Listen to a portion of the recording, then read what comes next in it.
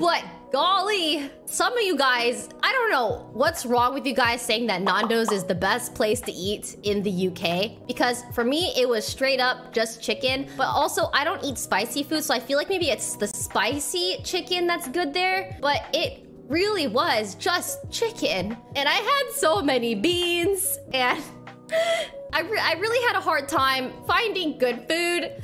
Um, the best thing I had was chicken sausage at the hotel breakfast. It was the best chicken sausage I've ever had in my life. I don't know why, but that was probably the best thing I had when I was in the UK.